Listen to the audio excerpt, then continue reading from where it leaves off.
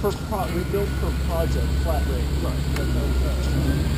You use the billing to optimize. Yes and no, and to give general profitability, because um,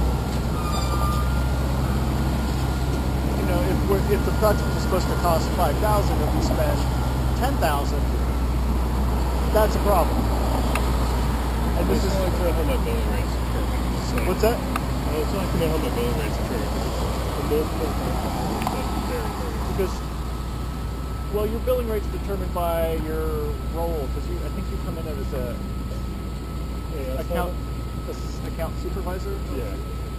which is around about 200 an hour is what we bill to the client. Right, but it's like I don't get you know I don't get half of that. I don't get a third of that. You know, it's like Well, you do and you don't. I mean, I mean, which what- I mean, as far as like my actual.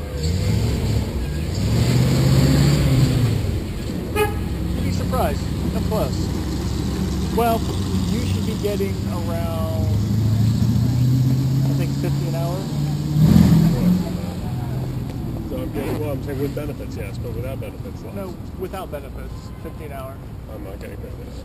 Yeah, because full-time work at Element is 1,800 hours a year. Not 2,000. 2,000? That's what they're. That's what they base things off of. Okay, because it's uh, because the rest of it, they're that's how much that's how much you're going to be working for them. So about 45 weeks.